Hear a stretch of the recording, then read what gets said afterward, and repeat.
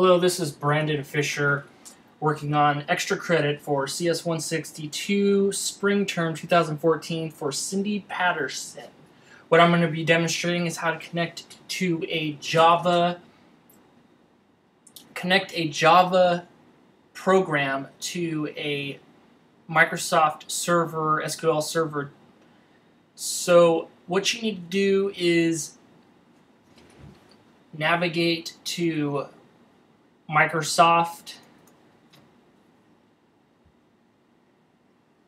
Just type in JDBC driver. Click on there. You want to click on this uh, JDBC driver 4.0. It's the newest one. And then download it. I've already downloaded it. So now that you have that downloaded, just create a new project. Just regular Java project here. I'm going to call it um, SQL front end. I don't need to create a main class for this one, and I'll show you why later. Finish. Now that you have that, you're going to need to add this uh, this driver into your library. So right click on your library, add new jar file folder. Now I've already, already I've already done this before, so you'll need to navigate to this folder here.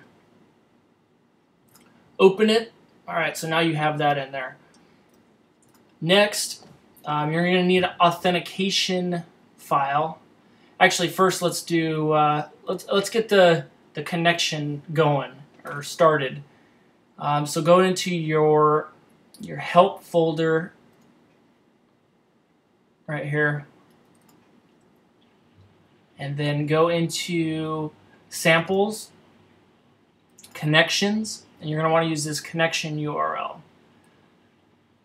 You can just well, let me do this first. Open this up, connection URL, drag it in here, boom, it's going to put it in your default package, connection URL, it's showing it's good there. All right, so next, what you're going to need to do, which is a little weird, um, not sure why you have to do this exactly, but um, you're going to need to go into your authentication, which is in that same folder, that root folder that you downloaded to. Uh, the 86 version, obviously that's the 32-bit. Copy that file. Put that file, oops, you're going to want to put that file in the folder here wherever you're making your project. So mine, my default folder is doc. You should be too. Uh, NetBeans, that's the IDE that I'm using. Um, Java application. Uh, no, that's not what the, I did. Uh, SQL front end here. Okay. And the SRC, actually just put it in this, this main folder here. So whatever your project folder is, just put it in the main project folder. All right, so now that's in there. Now what you're gonna need to do, edit your program a little bit. All right. So notice the database it's trying to connect to is AdventureWorks. While I don't have AdventureWorks, what I have is, let me show you here. Actually, I'm gonna disconnect and show you from the start what I did exactly. Alright, so I'm going to restart this. Just going to open up SQL Server from the start. Basically, this program, you don't need to do anything to your firewall, which that's what I thought you needed to do. Um, there's a lot of stuff on the internet, and there's nothing that's very cut and clear. All right, so basically, this is just a standalone database. You can, as long as you got access to your your uh, your database, uh, authentication wise, then you can do this on any computer, your school computer, your home computer. All right, so I'm connected to my database. All right, I got an order, order entry in here, show you some tables, uh, customer. Uh, let me do a quick little uh, query. No, no, no, no. Let me do a top 1,000 rows. I'll show you. It'll pop up with the data that's in there, okay?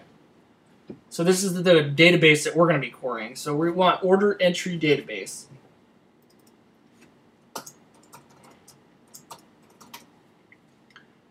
So we got our order entry database. We have our driver file, we have our security file that we put in the main folder there. All right, so next uh, we want to check our, our queries. All right, this query is not going to work for our database specifically. So let me just copy this over because I, I worked on this project once a little bit before. So I just made a quick, I'm just going to copy this code over. Basically, all I did was change the name of the query to a name of the table that I have. These are the rows, and this is the execute query statement. So you're just setting it to a variable and then taking that variable and basically assigning it rows. All right, so I'm just going to copy. I'm going to copy all the way to here.